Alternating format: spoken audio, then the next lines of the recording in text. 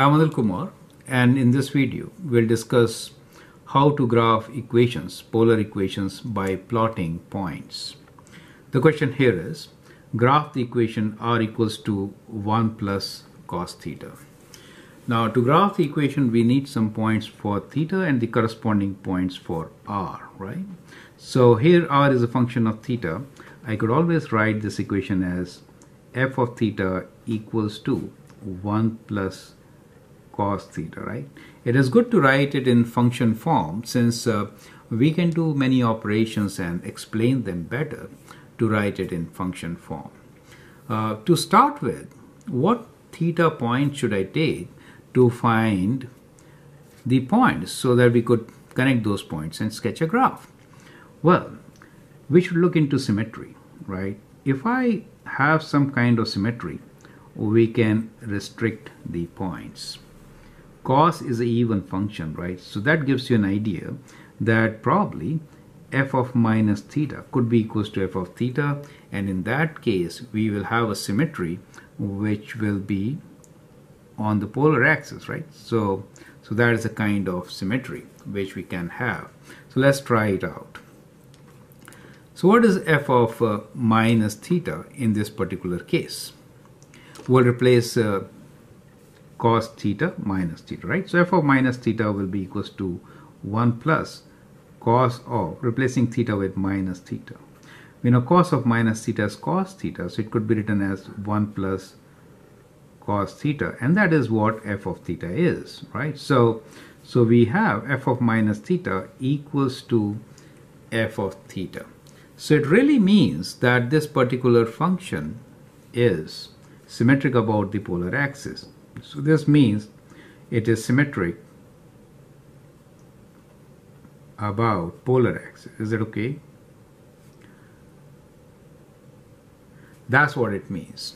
Now, you could also try the other symmetries, that is whether it is symmetric about the y-axis or not, whether it is symmetric about the point or not, right? So, so you'll find that it is not really symmetric about the y-axis, right?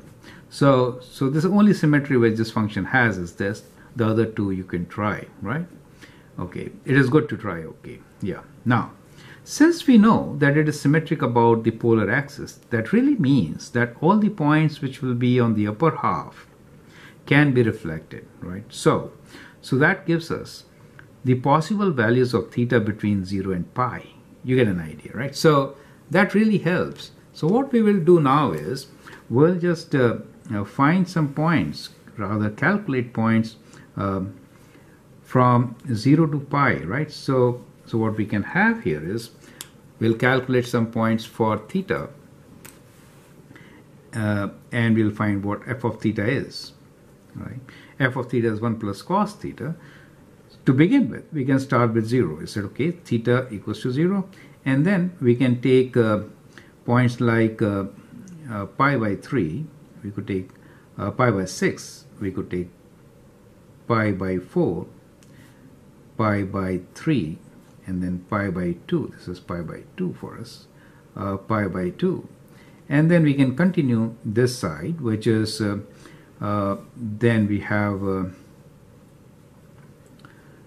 let's go by pi by 6, 1 pi by 6, 2 pi by 6, 3 pi by 6, 4 pi by 6, right? So, so likewise, we can get, uh, uh, and then 5 pi by 6. So if 4 pi by 6, I want to write, that's kind of confusing here. Anyway, we'll write 4 pi by 6, okay.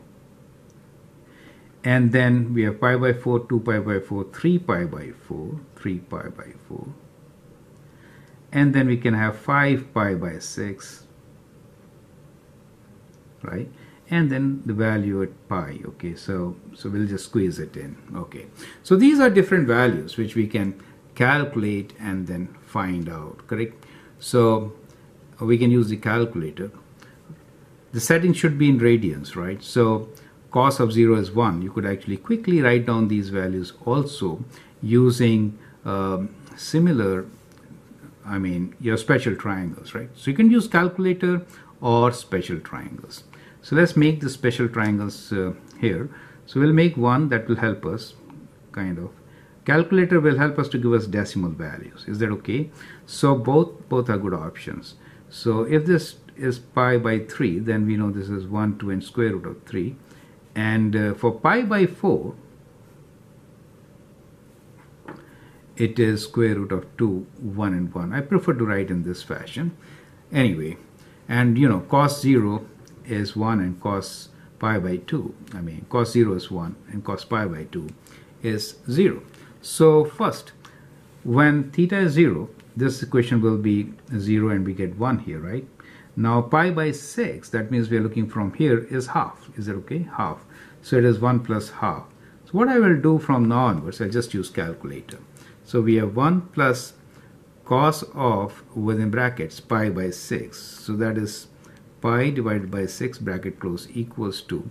So we have a number here which is kind of complicated. We'll just put in decimals. Is it okay? So in decimals, we get 1.866. So I'll write this value as 1.86 for example, right?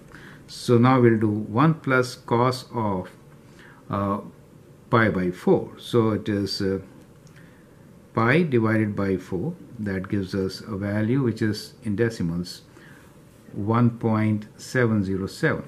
Now we'll do 1 plus cos pi by 3. So pi divided by 3 bracket close equals to 3 over 2 1.5. So we get 1.5 here. Pi by 2. So pi by 2 is uh, 0, you know, so we'll write 1 here okay and 4 pi by 6 so we have 1 plus cos of 4 times pi divided by 6 bracket close equal to so this is uh, decimal 0 0.5 3 pi by 4 so it is 1 plus cos of within brackets 3 pi by 4 so 3 times pi divided by 4 bracket close equals to decimal value 0.29 right? 5 pi by 6 1 plus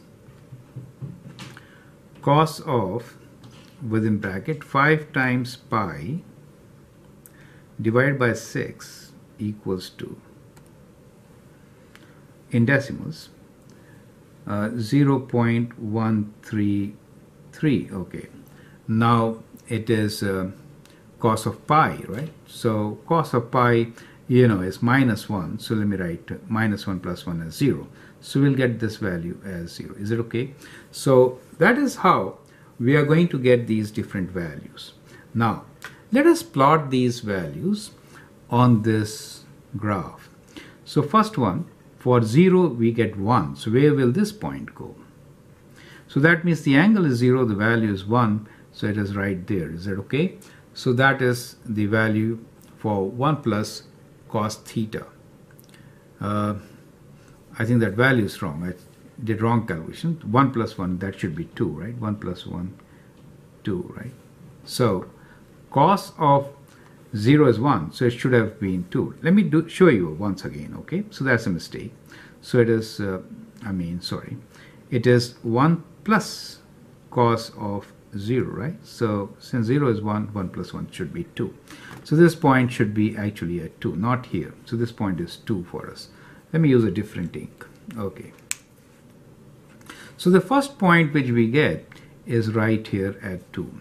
Then at pi by 6, so so pi by 6. Let me uh, kind of, uh, I mean, what I will do is uh, this is pi by 4 for us okay? Pi by 4 so pi by 6 let us say this line represents okay let's draw pi by 6 uh, let me make now rough sketch here okay? So we'll have pi by 6 kind of like this and then we'll have pi by 3 here. So so that should work right? Similarly there will be uh, this will be divided into three portions so let me do that. So we make this. Is it okay? So we have kind of added the required rays which will give us all the required angles now okay?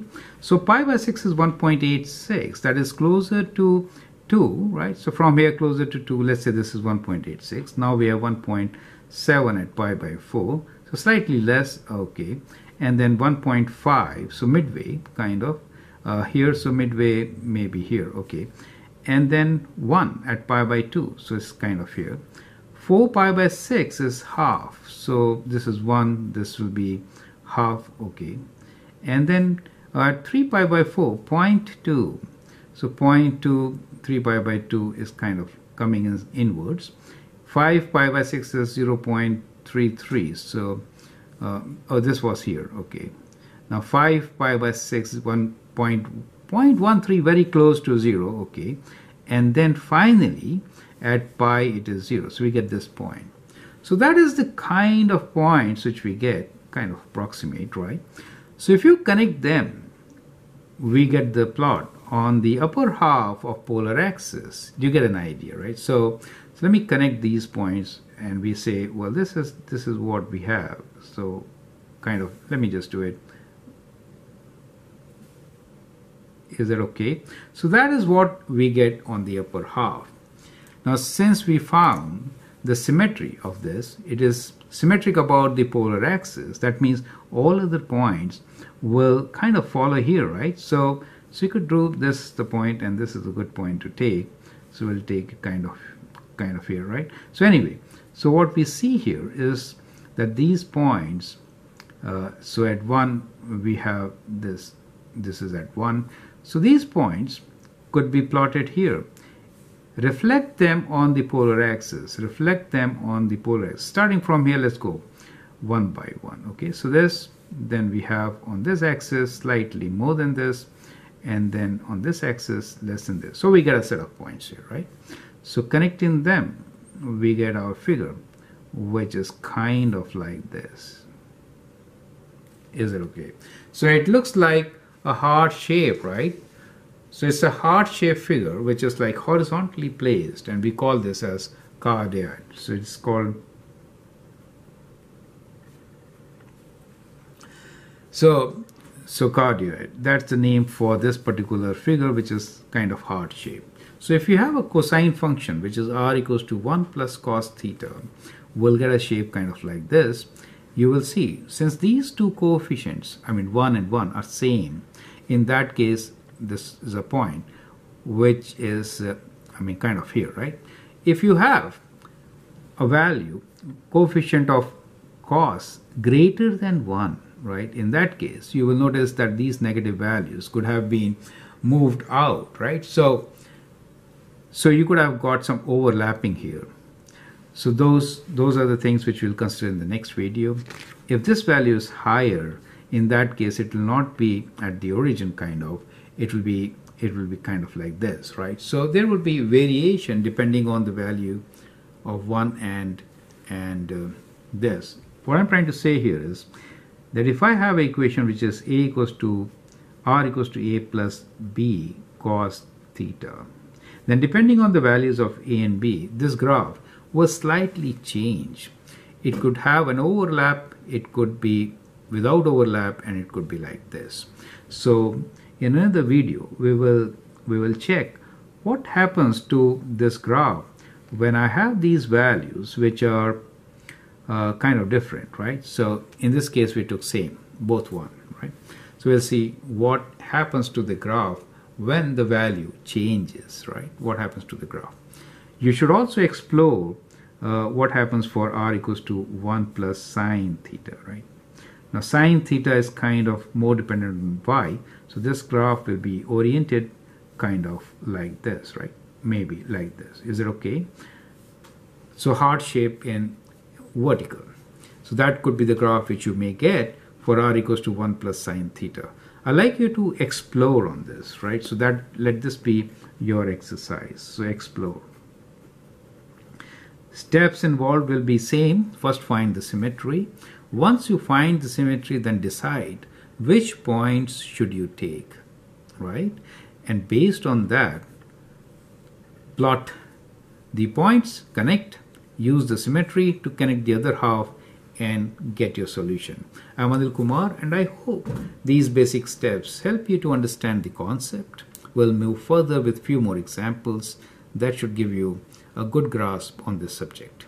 I'm Anil Kumar. You can always share and subscribe my videos. Thank you and all the best.